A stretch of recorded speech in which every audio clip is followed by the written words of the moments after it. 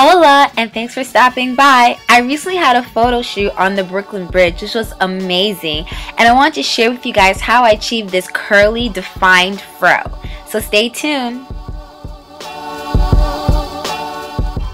The night before, I just did a bunch of chunky twists on my hair using the Darcy Botanicals Cocoa Smoothing Cream and a little bit of water. And it really just defined my hair. And then as you see right now, I'm just pulling apart the twists and I'm going to do that all over my head before I then go ahead and part them even more.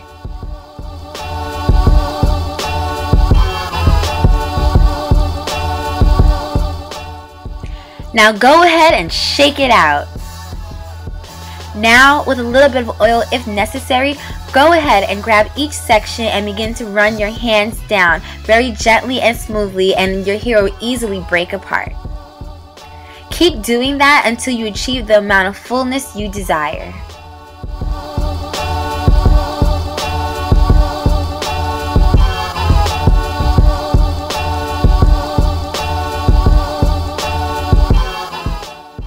Once that's done, your hair should be really defined, curly, but in a fro. But I'm looking for even more definition, so I'm going to grab my curls control paste and use that to smooth down my edges. Give me a nice clean look.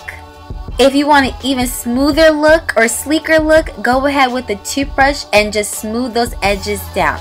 Make sure it's a soft brush though. Now when it comes to a fro, bigger is better. So take that pick and pick it out. Pick upwards for volume and pick downwards in order to elongate your curl pattern. Pull it apart with your hands if you don't mind the frizz. Just go for it.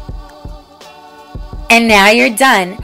Go ahead and check out my Instagram if you're interested in seeing the pics from my photo shoot. Thanks for watching guys and I hope to see you soon. Bye!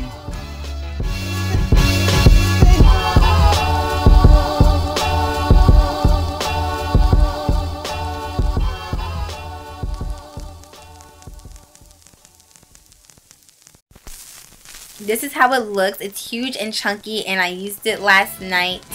Excuse any hairs when I took out my um, my weave and it smells just like chocolate